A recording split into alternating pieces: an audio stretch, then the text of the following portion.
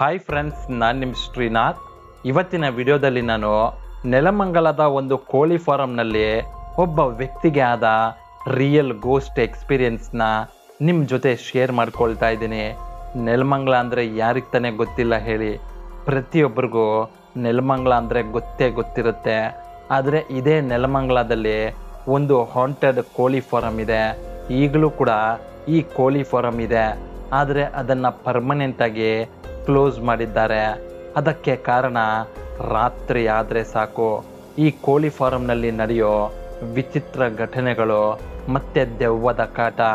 ಇದೇ ಕಾರಣಕ್ಕೆ ಸಂಜೆ ಕತ್ತಲಾಗ್ತಾ ಇದ್ದ ಹಾಗೆ ಈ ಕೋಳಿ ಫಾರಂ ಸುತ್ತಮುತ್ತ ವಾಸ ಮಾಡೋ ಜನರು ಆ ಕಡೆ ತಲೆ ಕೂಡ ಹಾಕೋದಿಲ್ಲ.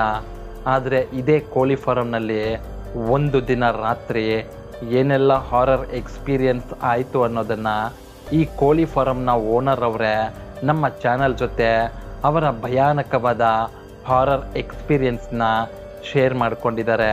ಅದನ್ನು ಇವತ್ತು ನಾನು ನಿಮ್ಮ ಜೊತೆ ಶೇರ್ ಮಾಡ್ಕೊಳ್ತಾ ಇದ್ದೀನಿ. ಬನ್ನಿ ವಿಡಿಯೋ ನೋಡ್ಕೊಂಬರೋಣ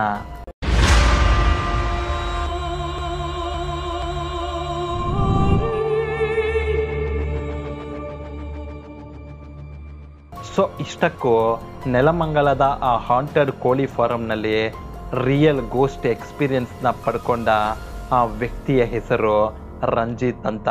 ಇವರು ನೆಲಮಂಗಲದ ಬ್ಯಾಡರಹಳ್ಳಿ ನಿವಾಸಿಯಾಗಿರ್ತಾರೆ. ಇನ್ನು ರಂಜಿತ್ಗೆ ಡಿಗ್ರಿ ಕಂಪ್ಲೀಟ್ ಮಾಡಿ ಏನಾದರೂ ಸ್ವಂತವಾಗಿ ಬಿಸ್ನೆಸ್ ಮಾಡಬೇಕು ಅಂತ ಆಸೆ ಇರುತ್ತೆ. ಅವರ ತಲೆಯಲ್ಲಿ ಕೋಳಿ ಫಾರಂ, ಬೇಕ್ರಿ, ಗಾರ್ಮೆಂಟ್ಸ್ ಈ ರೀತಿ ಏನಾದರೂ ಸ್ವಂತವಾಗಿ ಬಿಸ್ನೆಸ್ ಮಾಡಬೇಕು ಅನ್ನೋ ಆಸೆ ಇರುತ್ತೆ.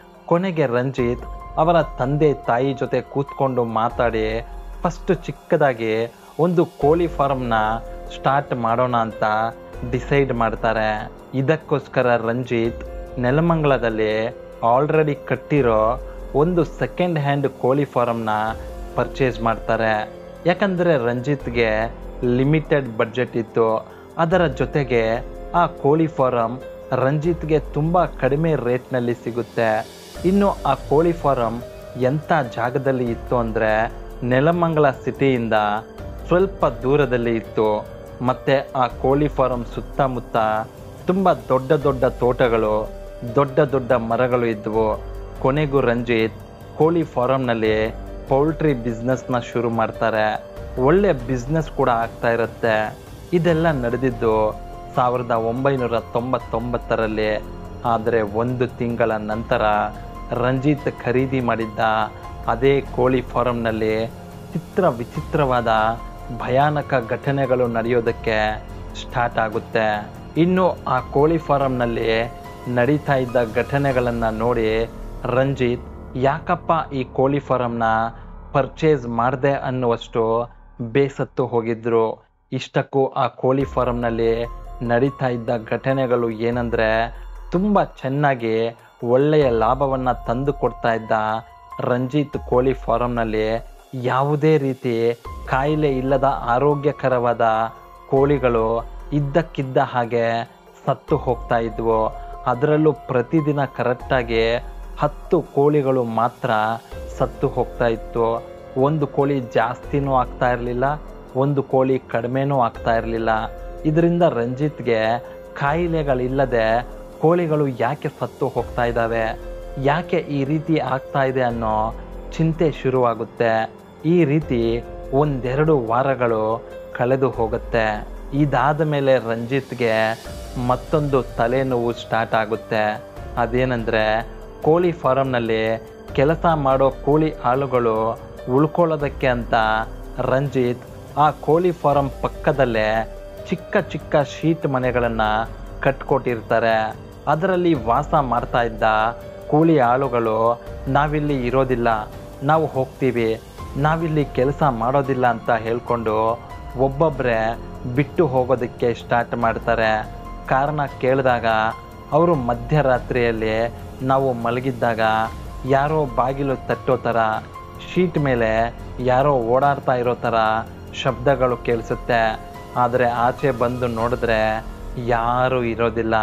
ಮತ್ತು ಸಂಜೆ ಮೇಲೆ ಯಾರಾದರೂ ಹೆಂಗಸರು ಒಬ್ಬೊಬ್ಬರೇ ಓಡಾಡಿದ್ರೆ ಅವರ ಹಿಂದೆ ಯಾರೋ ಬುಸುಗುಟ್ಕೊಂಡು ಅವರನ್ನೇ ಫಾಲೋ ಮಾಡ್ತಾ ಇರೋ ಥರ ಅನ್ನಿಸುತ್ತೆ ಅಂತ ಹೇಳ್ತಾರೆ. ಇನ್ನು ಇದನ್ನೆಲ್ಲ ಕೇಳಿ ರಂಜಿತ್ಗೆ ತಲೆನೇ ಕೆಟ್ಟು ಹೋಗುತ್ತೆ. ಅದಕ್ಕೆ ರಂಜಿತ್ ಏನು ನಿರ್ಧಾರ ಮಾಡ್ತಾರೆ ಅಂದರೆ, ಯಾಕೆ ಈ ಥರ ಎಲ್ಲ ಆಗ್ತಾ ಇದೆ? ನನ್ನ ಬಿಸ್ನೆಸ್ನ ನೋಡಿ ಹೊಟ್ಟೆ ಕಿಚ್ಚಿಗೆ ಯಾರಾದರೂ ಈ ಥರ ಮಾಡ್ತಾ ಇದ್ದಾರಾ? ಒಂದು ಕಡೆ ನೋಡಿದ್ರೆ ಕೋಳಿಗಳ ಸಾವು, ಮತ್ತೊಂದು ಕಡೆ ನೋಡಿದ್ರೆ ಎಲ್ಲರೂ ಕೆಲಸ ಬಿಟ್ಟು ಹೋಗ್ತಾ ಇದ್ದಾರೆ ಇದೇ ರೀತಿ ಕಂಟಿನ್ಯೂ ಆದರೆ ತುಂಬ ದೊಡ್ಡ ಲಾಸ್ ಆಗುತ್ತೆ. ಅದೇನೇ ಆಗಲಿ, ಇವತ್ತು ರಾತ್ರಿ ನಾನೇ ಕೋಳಿ ಫಾರಮ್ ಹತ್ರ ಹೋಗಿ ಅಲ್ಲಿ ಏನು ನಡೆಯುತ್ತೋ ನೋಡ್ತೀನಿ. ಯಾರಾದರೂ ನನ್ನ ಕೈಗೆ ಸಿಗಬೇಕು, ಅವ್ರಿಗೈತೆ, ಅಲ್ಲೇ ಪೂಜೆ ಅಂತ ಅಂದ್ಕೊಂಡು ಅವತ್ತು ರಾತ್ರಿ ಸಂಜೆ ಸುಮಾರು ಏಳು ಗಂಟೆಗೆ ಕೋಳಿ ಫಾರಮ್ ಆಫೀಸ್ ರೂಮ್ನಲ್ಲೇ ಮಲ್ಕೋತಾರೆ. ಆದರೆ ಅವತ್ತು ರಾತ್ರಿ ರಂಜಿತ್ ನೋಡಿದ್ದನ್ನು ಮತ್ತೆ ಅನುಭವಿಸಿದ್ದನ್ನು ರಂಜಿತ್ ಅವರು ಇವತ್ತಿಗೂ ಕೂಡ ಮರ್ತಿಲ್ಲ. ಇಷ್ಟಕ್ಕೂ ಅವತ್ತು ರಾತ್ರಿ ಏನಾಯಿತು ಅಂದರೆ ರಂಜಿತ್ ಇದು ಯಾರೋ ಹೊಟ್ಟೆ ಕಿಚ್ಚಿಗೆ ಮಾಡ್ತಾ ಇರೋದು. ಅವರನ್ನು ಹೇಗಾದರೂ ಮಾಡಿ ರೆಡ್ ಹ್ಯಾಂಡಾಗಿ ಹಿಡಿಲೇಬೇಕು ಅಂತ ರಂಜಿತ್ ಅವರ ಕೋಳಿ ಫಾರಂ ಆಫೀಸ್ ರೂಮ್ನಲ್ಲಿ ಅವತ್ತು ರಾತ್ರಿ ಮಲ್ಕೋತಾರೆ. ಈ ರೀತಿ ತುಂಬ ಗಾಢವಾದ ನಿದ್ದೆಯಲ್ಲಿದ್ದ ರಂಜಿತ್ಗೆ ಮಧ್ಯರಾತ್ರಿ ಸುಮಾರು ಎರಡು ಗಂಟೆಗೆ ಕೋಳಿ ಫಾರಂನಲ್ಲಿದ್ದ ಕೋಳಿಗಳೆಲ್ಲ ತುಂಬ ವಿಚಿತ್ರವಾಗಿ ಕಿರ್ಚಾಡ್ತಾ ಇರೋ ಥರ ಶಬ್ದ ಕೇಳಿಸುತ್ತೆ. ಆ ಶಬ್ದ ಕೇಳಿಸ್ಕೊಳ್ಳೋದಕ್ಕೆ ಹೇಗಿತ್ತು ಅಂದರೆ ಯಾರೋ ಅಲ್ಲಿರೋ ಎಲ್ಲ ಕೋಳಿಗಳನ್ನು ಯಾವುದೋ ಒಂದು ವಸ್ತುವಿನಿಂದ ಹೊಡೆದು ಓಡಿಸ್ತಾ ಇರೋ ಥರ ಶಬ್ದ ಕೇಳಿಸುತ್ತೆ. ಆಗ ರಂಜಿತ್ ತಿಕ್ಕಿಬಿದ್ದ ಕಳ್ಳ, ಇವನೇ ಡೈಲಿ ಕೋಳಿಗಳನ್ನು ಸಾಯಿಸ್ತಾ ಇರೋದು. ಹೋಗಿ ಹಿಡ್ಕೋಬೇಕು ಅಂತ ರಂಜಿತ್ ಬೇಗ ಬೇಗ ಎದ್ದು ಕೋಳಿಗಳು ಕಿರ್ಚಾಡ್ತಾ ಇರೋ ಕಡೆ ಹೋಗ್ತಾನೆ. ಆದರೆ ಅಲ್ಲಿ ಹೋಗಿ ನೋಡಿದ್ರೆ ಯಾರೂ ಇರೋದಿಲ್ಲ. ಆದರೆ ಪಕ್ಕದಲ್ಲೇ ಮತ್ತೆ ಹತ್ತು ಕೋಳಿಗಳು ಸತ್ತು ಬಿದ್ದಿರತ್ತೆ. ಆ ದೃಶ್ಯವನ್ನು ನೋಡಿ ರಂಜಿತ್ಗೆ, ಏನಪ್ಪ ಇದು? ಇಲ್ಲಿ ಯಾರೂ ಇಲ್ವಲ್ಲ? ಆದರೂ ಕೋಳಿಗಳು ಸತ್ತು ಬಿದ್ದಿದ್ದಾವೆ. ಏನಿದು ವಿಚಿತ್ರ? ಅಂತ ಅನಿಸುತ್ತೆ. ಅದೇ ಟೈಮ್ಗೆ ರಂಜಿತ್ಗೆ ಒಂದು ಶಬ್ದ ಕೇಳಿಸುತ್ತೆ. ಅದೇನೆಂದರೆ, ಯಾರೋ ಆ ಕೋಳಿ ಫಾರಂ ಮೇಲೆ ಇದ್ದ ಶೀಟ್ಗಳ ಮೇಲೆ ನಡ್ಕೊಂಡು ಮತ್ತೆ ಕೋಳಿ ಆಳುಗಳು ವಾಸವಿದ್ದ ಮನೆಗಳ ಮೇಲೆ ನಡ್ಕೊಂಡು ಹೋಗ್ತಾ ಇರೋ ಥರ ಶಬ್ದ ಕೇಳಿಸುತ್ತೆ. ರಂಜಿತ್ಗೆ ಆ ಶಬ್ದ ಕಂಟಿನ್ಯೂಯಸ್ ಆಗಿ ಕೇಳಿಸ್ತಾನೆ ಇರುತ್ತೆ. ಆದರೆ ಕಣ್ಣಿಗೆ ಮಾತ್ರ ಯಾರೂ ಕಾಣಿಸ್ತಾ ಇರಲಿಲ್ಲ. ಆಗ ರಂಜಿತ್ಗೆ ಸ್ವಲ್ಪ ಭಯ ಆಗುತ್ತೆ. ಇದಾದ ಮೇಲೆ ರಂಜಿತ್ ಸ್ವಲ್ಪ ಹೊತ್ತು ಅಲ್ಲೇ ಆ ಕಡೆ ಈ ಕಡೆ ನೋಡ್ತಾ ನಿಂತ್ಕೊಂಡಿರ್ತಾನೆ. ಆಗ ರಂಜಿತ್ಗೆ ಕೋಳಿ ಫಾರಂ ಹಿಂದೆ ಇದ್ದ ತೋಟದಲ್ಲಿ ಯಾರೋ ನಡ್ಕೊಂಡು ಹೋಗ್ತಾ ಇರೋ ಥರ ಸರಕ್ ಅಂತ ಒಂದು ಶಬ್ದ ಕೇಳಿಸುತ್ತೆ. ಅದನ್ನು ಕೇಳಿಸ್ಕೊಂಡು ರಂಜಿತ್ ಆ ತೋಟದ ಕಡೆಗೆ ಹೋಗಿ ನೋಡ್ತಾನೆ. ಅಲ್ಲಿ ಹೋಗಿ ನೋಡಿದ್ರೆ ಯಾರೋ ಒಬ್ಬ ವ್ಯಕ್ತಿ ಒಂದಷ್ಟು ದೂರದಲ್ಲಿ ಒಂದು ತೆಂಗಿನ ಮರದ ಪಕ್ಕದಲ್ಲಿ ಕೈ ಕಟ್ಕೊಂಡು ನಿಂತ್ಕೊಂಡಿರ್ತಾನೆ. ಅವನನ್ನು ನೋಡಿ ರಂಜಿತ್ಗೆ, ಓ, ಇವನೇ ಇರ್ಬೋದು, ಕೋಳಿಗಳನ್ನು ಸಾಯಿಸಿದ್ದು. ಶೀಟ್ ಮೇಲೆ ಹತ್ತಿ ಓಡಾಡಿ ಕೆಲಸದವರನ್ನು ಭಯಪಡಿಸಿದ್ದು ಇವನೇ ಇರ್ಬೋದು ಅಂತ ಮನಸ್ಸಿನಲ್ಲಿ ಅಂದ್ಕೊಂಡು ಓಯ್, ಯಾರು ನೀನು? ನಿಂದೇನ ಇದೆಲ್ಲ ಕೆಲಸ? ಅಂತ ಜೋರಾಗಿ ಕೂಗ್ತಾನೆ. Friends M V pro act ಅವರ ಫೇಸ್ ವಾಶ್, ರೇಡಿಯನ್ಸ್ ಸೆರಮ್ನ ನೀವು ಬಳಸಿದ್ರೆ ಮೊಡವೆ, ಡಾರ್ಕ್ ಸರ್ಕಲ್ ಆಯಿಲಿ ಸ್ಕಿನ್ ನಿಮ್ಮ ಮುಂತಾದ ಸ್ಕಿನ್ ಪ್ರಾಬ್ಲಮ್ಸ್ ದೂರವಾಗಿ ನಿಮ್ಮ ಫೇಸ್ ಗ್ಲೋ ಆಗುವಂತೆ ಮಾಡುತ್ತೆ. ಇವರ ಸನ್ಸ್ಕ್ರೀನ್ನ ಯೂಸ್ ಮಾಡಿದ್ರೆ ಪ್ರಿಮೆಚ್ಯೂರ್ ಏಜಿಂಗ್ ಸನ್ಬರ್ನ್ ಸೂರ್ಯನ ಹಾನಿಕಾರಕ ಯು ವಿ ಕಿರಣಗಳನ್ನು ತಡೆಗಟ್ಟಬಹುದು. ಹೊರಗಡೆ ಹೋಗೋದಕ್ಕೂ ಮುಂಚೆ ಇದನ್ನ ಒಮ್ಮೆ ಯೂಸ್ ಮಾಡಿದ್ರೆ ಸಾಕು. ಇದರಲ್ಲಿ ನ್ಯಾಚುರಲ್ ಇಂಗ್ರೀಡಿಯೆಂಟ್ಸ್ಗಳನ್ನು ಮಾತ್ರ ಬಳಸಲಾಗಿದೆ. ಇದು Amazon Flipkart M V proact ವೆಬ್ಸೈಟ್ನಲ್ಲಿ ಲಭ್ಯವಿದೆ. ಆಗ ಆ ವ್ಯಕ್ತಿ ನಿಧಾನಕ್ಕೆ ರಂಜಿತ್ನಿಂದ ಹಿಂದೆ ಸರಿತಾ ಹೋಗ್ತಾನೆ. ಆಗ ರಂಜಿತ್, ಹೇಯ್ ನಿಂತ್ಕೊಳ್ಳೋ ಎಲ್ಲಿಗೋಡಾಗ್ತಾ ಇದೆಯಾ? ನನ್ನ ಕೈಯಿಂದ ಇವತ್ತು ತಪ್ಪಿಸ್ಕೊಳ್ಳೋದಕ್ಕಾಗೋದಿಲ್ಲ ನೀನು. ಅಂತ ಹೇಳಿ ರಂಜಿತ್ ಆ ವ್ಯಕ್ತಿಯನ್ನ ಹಿಡ್ಕೊಳ್ಳೋದಕ್ಕೆ ಅಂತ ಹೋಗ್ತಾನೆ. ಆದರೆ ಆ ವ್ಯಕ್ತಿ ರಂಜಿತ್ ಕೈಗೆ ಸಿಗದ ಹಾಗೆ ಜೋರಾಗಿ ಓಡಿ ಹೋಗ್ತಾನೆ. ರಂಜಿತ್ ಕೂಡ ಆ ವ್ಯಕ್ತಿಯ ಹಿಂದೆನೆ ಹೇಗಾದರೂ ಮಾಡಿ ಅವನನ್ನು ಇವತ್ತು ಹಿಡ್ಕೊಳ್ಳೇಬೇಕು ಅಂತ ಓಡೋಗ್ತಾನೆ. ಹೀಗೆ ಒಂದು ಮುಕ್ಕಾಲು ಕಿಲೋಮೀಟರ್ ಹೋದ್ಮೇಲೆ ಆ ವ್ಯಕ್ತಿ ಆ ತೋಟದ ಮಧ್ಯೆ ಇದ್ದ ಒಂದು ಹಳೆಯ ಬಾವಿಯ ಮೇಲೆ ಹತ್ತಿ ಬಾವಿಗೆ ಧುಮುಕಿ ಬಿಡ್ತಾನೆ. ಅದನ್ನು ನೋಡಿ ರಂಜಿತ್, ಬಾವಿಗೆ ಧುಮುಕ್ಬಿಟ್ರೆ ಬಿಟ್ಬಿಡ್ತೀನಾ? ಬಿಡೋದಿಲ್ಲ ನಿನ್ನ, ಅಂತ ಅಂದ್ಕೊಂಡು ಆ ಬಾವಿಯ ಬಳಿ ಹೋಗಿ ಒಳಗೆ ಬಗ್ಗಿ ನೋಡ್ತಾನೆ. ಅಲ್ಲಿ ಕಂಡ ದೃಶ್ಯವನ್ನು ನೋಡಿ ರಂಜಿತ್ಗೆ ಎದೆ ಬಡಿತ ನಿಂತು ಹೋಗುತ್ತೆ. ಕೈ ಕಾಲು ನಡುಗುತ್ತೆ. ಯಾಕಂದರೆ ಆ ಬಾವಿಯಲ್ಲಿ ನೀರು ಇರಲಿಲ್ಲ. ಜೊತೆಗೆ ಅದರೊಳಗೆ ಧುಮುಕಿದ ಆ ವ್ಯಕ್ತಿ ಕೂಡ ಇರಲಿಲ್ಲ.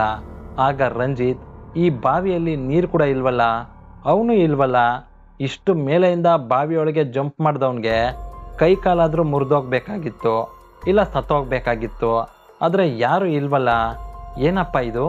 ಅಂತ ಅಂದ್ಕೊಂಡು ಹಿಂದೆ ತಿರುಗ್ತಾನೆ. ಆಗ ರಂಜಿತ್ ಕಣ್ಣಿಗೆ ಬಾವಿಯೊಳಗೆ ಧುಮುಕಿದ ಅದೇ ವ್ಯಕ್ತಿ ಒಂದಷ್ಟು ದೂರದಲ್ಲಿ ಮತ್ತೆ ರಂಜಿತ್ನ ಗುರಾಯಿಸ್ತಾ ಕೈ ಕಟ್ಕೊಂಡು ನಿಂತ್ಕೊಂಡಿರೋದು ಕಾಣಿಸುತ್ತೆ. ತಕ್ಷಣ ರಂಜಿತ್, ಇಲ್ಲಿ ಏನೋ ನಡೀತಾ ಇದೆ. ಇಲ್ಲಿದ್ದರೆ ಒಳ್ಳೇದಲ್ಲ. ನಾಳೆ ನೋಡೋಣ ಅಂತ ಅಂದ್ಕೊಂಡು ಮನೆಗೆ ಹೊರಟೋಗ್ತಾನೆ. ನೆಕ್ಸ್ಟ್ ದಿನ ರಂಜಿತ್ ಅವನು ಪರ್ಚೇಸ್ ಮಾಡಿದ ಆ ಕೋಳಿ ಫಾರಂ ಹಿನ್ನೆಲೆಯನ್ನು ತಿಳ್ಕೊಂಡಾಗ ಒಂದು ಬೆಚ್ಚಿ ಬೀಳಿಸುವ ವಿಷಯ ಗೊತ್ತಾಗುತ್ತೆ. ಅದೇನೆಂದರೆ, ಐದು ವರ್ಷಗಳ ಹಿಂದೆ, ಅಂದರೆ ಸಾವಿರದ ಒಂಬೈನೂರ ತೊಂಬತ್ನಾಲ್ಕರಲ್ಲಿ ಅದೇ ಕೋಳಿ ಫಾರಂನಲ್ಲಿ ಕೆಲಸ ಮಾಡ್ತಾ ಇದ್ದ ಒಬ್ಬ ಬಡ ವ್ಯಕ್ತಿ ಆಸೆಗೆ ಅಂತ ಎರಡು ಕೋಳಿಗಳನ್ನು ಕದ್ದು ಮನೆಗೆ ಎತ್ಕೊಂಡು ಹೋಗಿರ್ತಾನೆ. ಅದನ್ನು ನೋಡಿ ಆ ಕೋಳಿ ಫಾರಂ ಓನರ್ ಆ ವ್ಯಕ್ತಿಯನ್ನು ಎಲ್ಲರ ಮುಂದೆ ಹೊಡೆದು ಕೆಟ್ಟ ಕೆಟ್ಟ ಮಾತುಗಳಿಂದ ಬೈದು ತುಂಬ ಅವಮಾನ ಮಾಡಿಬಿಡ್ತಾನೆ. ಇದರಿಂದ ಆ ವ್ಯಕ್ತಿ ಮನನೊಂದು ಆ ಕೋಳಿ ಫಾರಂ ಹಿಂದೆ ಇದ್ದ ಒಂದು ಹಳೆಯ ಕಾಲದ ಬಾವಿಯಲ್ಲಿ ಬಿದ್ದು ಸತ್ತು ಹೋಗ್ತಾನೆ. ಆ ವ್ಯಕ್ತಿ ಆತ್ಮಹತ್ಯೆ ಮಾಡಿಕೊಂಡ ಒಂದು ವಾರದ ನಂತರ ಆ ಕೋಳಿ ಫಾರಂನಲ್ಲಿ ತುಂಬ ವಿಚಿತ್ರವಾದ ಘಟನೆಗಳು ನಡೆಯೋದಕ್ಕೆ ಸ್ಟಾರ್ಟ್ ಆಗುತ್ತೆ. ಆಗ ಆ ಕೋಳಿ ಫಾರಂ ಓನರ್ ಅದನ್ನು ಮತ್ತೊಬ್ಬರಿಗೆ ಮಾರಿಬಿಡ್ತಾನೆ. ಅವ್ರಿಗೂ ಕೂಡ ಇದೇ ರೀತಿ ಪ್ರಾಬ್ಲಮ್ ಆಗಿ ತುಂಬ ಚೀಪ್ ರೇಟ್ಗೆ ರಂಜಿತ್ಗೆ ಮಾರಿಬಿಟ್ಟಿದ್ದಾರೆ ಅಂತ ಗೊತ್ತಾಗುತ್ತೆ.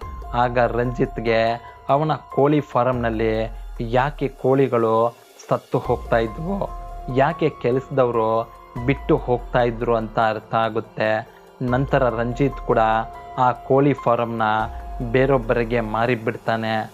ಆದರೆ ಆ ಕೋಳಿ ಫಾರಮ್ ಈಗಲೂ ಕೂಡ ಹಾಗೆ ಪಾಳು ಬಿದ್ದ ಸ್ಥಿತಿಯಲ್ಲಿ ಇದೆ. ಇದು ನೆಲಮಂಗಲದ ಒಂದು ಹಾಂಟೆಡ್ ಕೋಳಿ ಫಾರಂನಲ್ಲಿ ರಂಜಿತ್ಗೆ ಆದ ಒಂದು ರಿಯಲ್ ಹಾರರ್ ಎಕ್ಸ್ಪೀರಿಯನ್ಸ್ ನಿಮಗೂ ಕೂಡ ಇದೇ ರೀತಿ ಎಕ್ಸ್ಪೀರಿಯನ್ಸ್ ಆಗಿದ್ದರೆ ಅದನ್ನು ನೀವು ನನ್ನ ಜೊತೆ ಶೇರ್ ಮಾಡ್ಕೊಳ್ಬಹುದು. ನಿಮ್ಮ ಸ್ಟೋರಿನ ನಾನು ಈ ನಿಮ್ಮ ಚಾನೆಲ್ನಲ್ಲಿ ಎಲ್ಲರ ಜೊತೆ ಶೇರ್ ಮಾಡ್ಕೊಳ್ತೀನಿ. ಸೊ ಫ್ರೆಂಡ್ಸ್ ಇದು ಇವತ್ತಿನ ರಿಯಲ್ ಹಾರರ್ ಸ್ಟೋರಿ ಆಗಿತ್ತು. ನಿಮ್ಗೇನಾದರೂ ಈ ವಿಡಿಯೋ ಇಷ್ಟ ಆಗಿದ್ದರೆ ದಯವಿಟ್ಟು ಈ ವಿಡಿಯೋನ ತಮ್ಮ ತಮ್ಮ ವಾಟ್ಸಪ್ ಗ್ರೂಪ್ನಲ್ಲಿ ಶೇರ್ ಮಾಡಿ ಮತ್ತೊಂದು ಇಂಟ್ರೆಸ್ಟಿಂಗ್ ಮತ್ತು ರಿಯಲ್ ಹಾರರ್ ಸ್ಟೋರಿಯೊಂದಿಗೆ ನಿಮ್ಮನ್ನು ಮುಂದಿನ ವಿಡಿಯೋದಲ್ಲಿ ಭೇಟಿ ಮಾಡ್ತೀನಿ ವಿಡಿಯೋ ನೋಡಿದ್ದಕ್ಕೆ ಧನ್ಯವಾದಗಳು.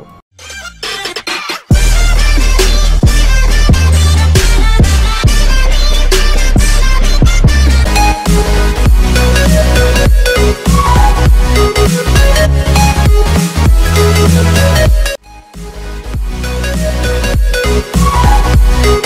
back.